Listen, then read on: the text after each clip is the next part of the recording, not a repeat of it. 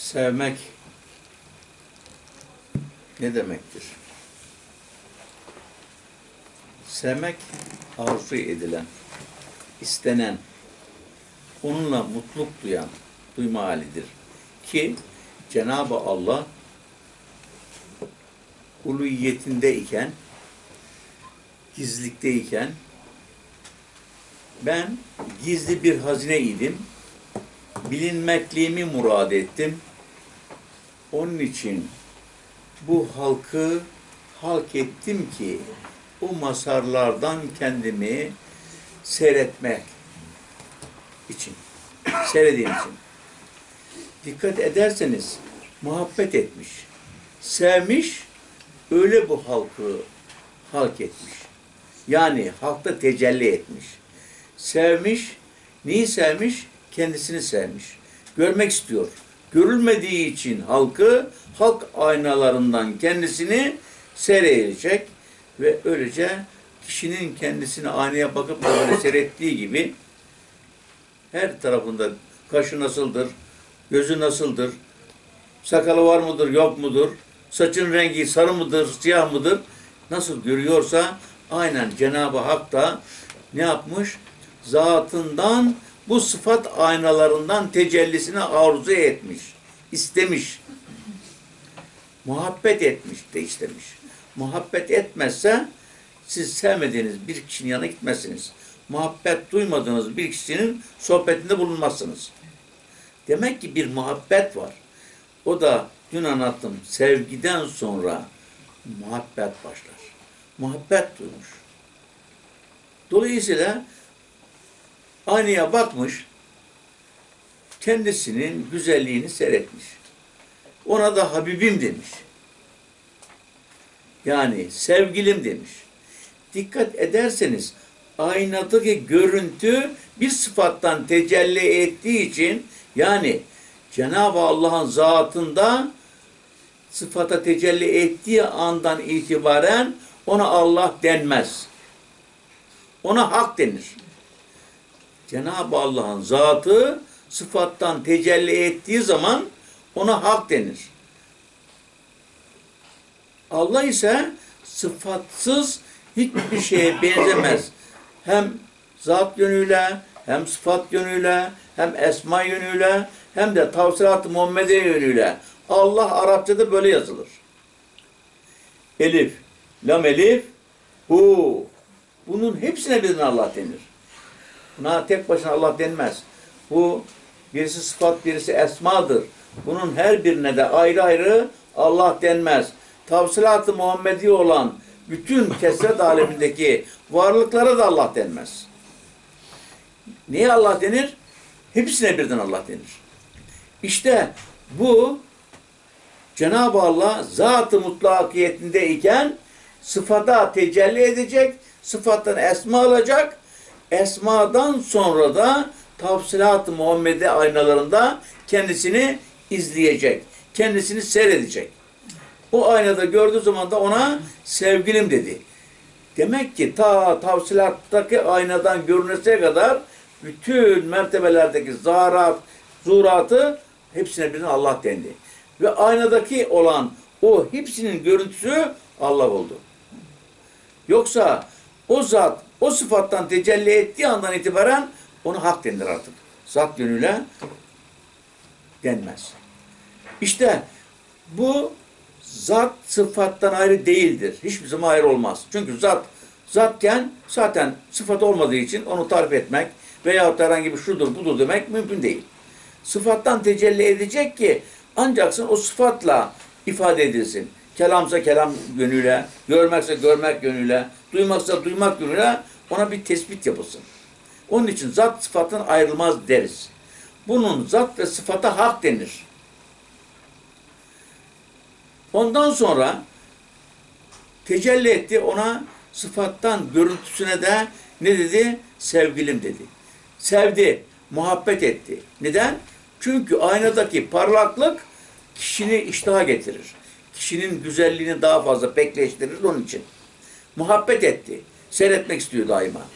İşte onun için bu halk aynalarını yarattı. Halk aynaları da esma ve fiillerle hak adını aldı. Aslında zat ayrı, sıfat ayrı, esma ayrı, fiil ayrı değil. Bulunduğu mertebelere göre isim aldı. Bir çekirdek gövde olduğu zaman çekirdeğin gövdesi denir. Gövde şekli ayrı, ismi ayrı. Dal oldu, ismi ayrı, şekli ayrı. Yaprak oldu, aynı çekirdek. Ona çekirdek denmiyor. İsmi ayrı, şekli ayrı. Meyve oldu, ismi ayrı, şekli ayrı.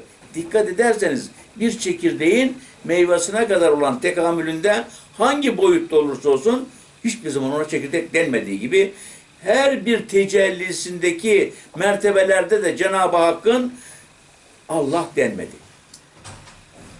Hak dendi. İşte bu hak aynalarından artık Hakk'ın kendisini ne yaptı? Zat sıfattan tecelli etti ama fiil açığa çıkması lazım. Esmasının cinsini gösterir. Esmanın önemi yok ama o esma o sıfatı hatırlatır insana.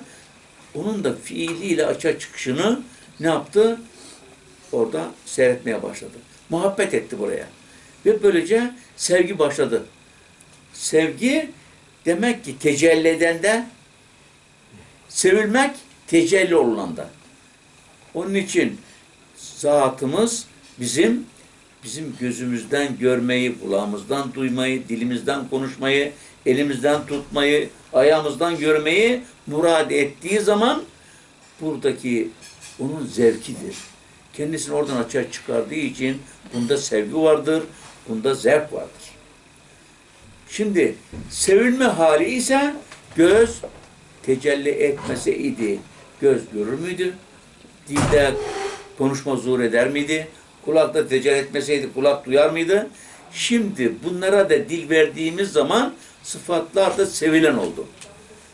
Ve dile geldiği zaman diyor, diyorlar ki Ya Rabbi sen bende tecelli etmemiş olsaydın ben göremezdim. Veya ben duyamazdım. Ben konuşamazdım demez mi? Bakın dikkat edersen tecelli eden seven, tecelli olunan sevilen. Birisi sevgi, birisi sevilen. Erkek kadın arasında da böyledir. Erkekler sevmeye meyyal, kadınlar da sevilmeye meyyaldır. Zahirde de bu böyledir. Anlatabiliyor muyum? Yani erkek sevilmek arzusu vardır ama yüzde 46'ın 49'un aşağısındadır. Kadınların da sevme şeysi hasreti vardır. Fakat onun da gene sevilme hasreti yüzde 51'in üstündedir. Onun için Cenab-ı Allah da zatla sıfat arasındaki olan münasebet karıyla koca arasındaki zat Adem ile Havva arasındaki münasebet gibidir. Veyahut da zat, e, erkekle kadın arasında münasebet gibidir. Seven ve sevilen halini aldı. Cenab-ı Hak zat yönüyle sevdi. Çünkü tecellisini görecek. Ondaki olan hangi ilim? İlim zevki. Görme, görme zevki. Anlatabildim mi? Her türlü aldığı zevk Cenab-ı Hakk'a ait. Yani erkeğe ait. E, burada tecelli eden zevk almaz mı? E, alır. Onun zevki onun tecellisiyle mümkündür. Gözden o tecelli etmemiş olsaydı göz görme zevkine sahip olmazdı. Kulak duyma zevkine sahip olmazdı. Aynen bunun gibi. Demek ki sevmek Cenab-ı Hakk'a ait. Onun için herkesi sevin. Severseniz o nispette Cenab-ı Hakk'ın varlığıyla varlığınızda vuslat alırsınız. Sevmediğiniz müddetçe Cenab-ı Hakk'ın sevgisinden mahrum kalırsınız. Bize bugüne kadar hep eksikleri görmeye, sevmemeyi alıştırmışlar. Bu tamamen yanlış. Artık 21. asra girdiniz, her kim olursa olsun mutlaka karşıdaki kişinin sevilecek tarafı vardır. Kitaplarımız anlatıyor. Asr saadette bile bir leşin önünden sahabelerle beraber geçen Resul Efendimiz herkes burnunu kapatmış. O demiş ki pirinç gibi dişleri var. Ne kadar da güzel. Bir leşte dahi sevilecek bir yer olabiliyor demek. Ey kardeşim sen de beni neden sevmiyorsun? Ben seni neden sevmiyorum? Benim iyi tarafım da vardır elbet. Evet. Benim kötü tarafım vardır ama yüzde 99 benim kötü tarafım olsa bir tek iyi tarafımı görmeye özen göster. Senin görevin bu olmalı. Ben de senin yüzde 99'unun kötü olsa mümkün değil bu da. Yani olsa dahi ben de senin o bir yönün iyi olmasını göster. Gayret göstermeliyim. Ama biz böyle mi yapıyoruz? Hayır. Kötü tarafları yüzde 99 olsa şey iyi tarafı yüzde 99 olsa insanın kötü tarafı bir tane olsa cımbızla oradan o bir tane alıyoruz. Bak diyoruz bu adam sahtekar. Bu bizim nakisiyetimizdir. Bu bizim eksikliğimizdir. Onun için sevmek Cenab-ı Hakk'a aittir. Sevilmek kulluğa aittir. Cenab-ı Hak sevendir, kullar sevilendir. Anlatabildim mi? Seversen sevilirsin. Sen Allah'ı seviyorsun. Fenafillah oldun. Ondan sonra da artık sevilin oldun. Beka billah'ta sevilin oldun. Her varlıkta seni senden Cenab-ı Hak seni seyrediyor. Senin istadını, senin kabiliyetini, sendeki irfanet ve kemalatı seyreden sen misin? Hayır. Namaz kılıyorsun. Birinci rekatta sevildin, şey sevdin. Kulluğunla idrakına vardın. Varlığın olmadığını anladın. İkinci rekatta ne yapıyorsun? Artık Cenab-ı Hakk'ın sevgisine mazhar oldun. Sevilen oldun. Kıyamda ayetlerle sevilensin. Rukuda Subhan Rabbel Azim azametini seyretmekle sevilensin. Secdede artık en ala zatını zatına mirad etmez suretiyle alalığını gördüğün için sevilensin. Gördün mü? Senin masarından kendisini seyretti. Kendi masar, senin masarından kendisini seyrettiği için kendisini seyretmeden mütevellit seni sevdi. Sen sevilensin, o seven oldu. İster namazda olsun, ister yaşantılarda olsun, hep öyle. Bir karı koca arasındaki mesa- mesafede de böyledir. Bir yuvada hakikaten karşılıklı sevgi varsa o yu- yuva ilelebet muhafaza oluyor. Ama kadın erkeğe ters düşüyor, erkek kadına ters düşüyorsa o yuvada mutlu olur mu? Dert. Uuu. Toplumda bunları görüyoruz. Onun için mümkün mertebe sevilecek kısmı bulun. Sevilmeyen kısmı görmemeye özen gösterin. Herkes beşerdir. Şaşabilir. Herkesin eksik tarafı vardır. Onları görmemeye özen gösterin ki tevhidde ilerleyesiniz.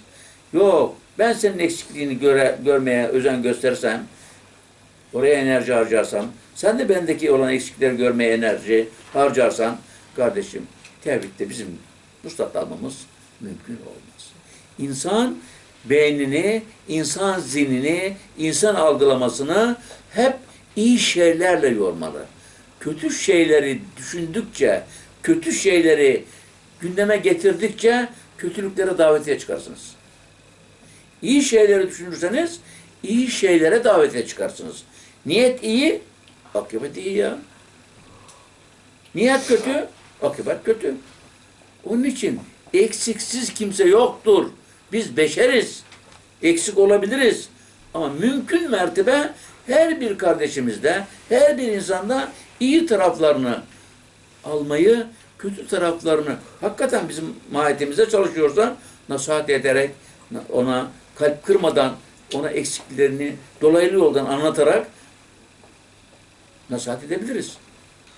Ama işte sevgi olsa bunlar sen bana dört elle sarılırsın, kardeşim dersin. Ben de sana dört elle sarılırım. Ben de sana kardeşim derim. Hiçbir zaman manevi yöndeki olan bu bağlığımız bizim zahirimizi de muslak buldurur. Kemalata getirir. Onun için bu sevgi Allah'tandır. Sevmek Allah'tan, sevmemek şeytandandır. Sizden iyi şey zuhur ediyorsa haktan, sizden kötü şeyler zuhur ediyorsa onun hepsinizdendir diyor ayet-i kerime. Onun için sevgi Cenab-ı Hakk'ın vadisinde vardır. Sevmemek nefret etmek, gıybet etmek, yalan söylemek, buna benzer Allah'ın Kur'an-ı Kerim'de yasak ettiği şeyleri uygulamanız şeytanın tarafındandır. Nefsinizdendir. Kişi kendisine bunu daima sormalı. Yapabildiği kadar. Bir günde hepsini cumhur cemaat halledemez. Etmesi mümkün değildir. Bir ayda da edemez. Bir sene de etsin, bir sene de etmedi. Beş sene de etsin, beş sene de etmesi. On sene de etsin. Mutlaka bu alemden göçese kadar mutlaka ve mutlaka kendi insanı hastasını öğrenmeli. O iyilikler deryasında yüzmelidir. O iyilikler deryasında yüzemediği müddetçe inanın ahiret dediğimiz hem gün aleminde bu alemdeyken azap çeker hem de melekut alemi, ceberat alemi, lehut alemlerine geçtiği zaman da o ruh oralarda da rahat. Çünkü daha henüz dirlik deryasına gireseye kadar olan demden o kişinin ruhu asla ve asla rahat etmez. Onun için sevelim, sevilelim. Bu alem kimseye kalmaz diyor bir ilahi de bile. Çünkü sevmeyi öğrenmemişiz, sevilmeyi öğrenmemişsek olmaz. İşte onun için sevgi İslamiyet'imizin bir sütunudur. Sevgi mutlaka gereklidir. Sevgisiz hiçbir şey olmaz. Bir yemeği severseniz yersiniz, sevmezseniz yer misiniz? Bir kardeşinizi severseniz ziyaret edersiniz, sevmezseniz ziyaret eder misiniz? Etmezsiniz. Aynen bunun gibi. Bir ilimi benimsiyorsanız, seviyorsanız bak geliyorsunuz burada dinliyorsunuz. Ya bu ilmi aşina olmak için sevmemiş olsaydınız gelir misiniz buraya? Gelmezsiniz. Yani her şey sevgiden geçer. Cenab-ı Allah inşallah bu şekilde sevenlerden eylesin.